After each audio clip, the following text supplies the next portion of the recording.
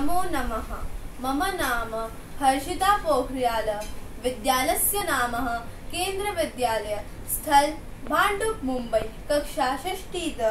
एक भारत श्रेष्ठ भारत अंतर्गत श्रीमद् भगवद गीता तृतीय अध्याय श्लोक त्रयोविंशति प्रस्तुत अस्ति। नैनं छिन्दन्ति शस्त्राणि, नैनं दहति पावक।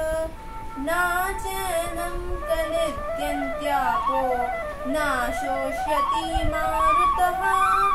अर्थात, आत्मा को ना तो कोई शस्त्र काट सकता है, ना ज्वाला जला सकती है, ना पानी गीला कर सकता है, और ना तो हवा सुखा सकती है।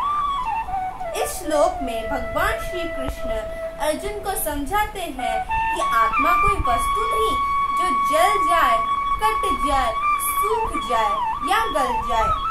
इस प्रकार हमें इस श्लोक से सीख मिलती है कि आत्मा कोई वस्तु नहीं है। धन्यवाद।